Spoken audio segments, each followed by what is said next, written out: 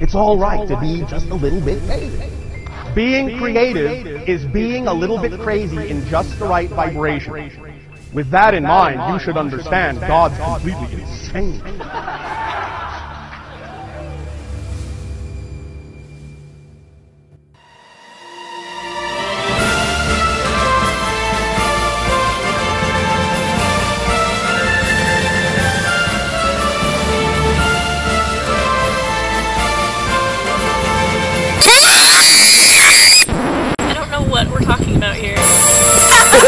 Ha ha ha ha ha ha!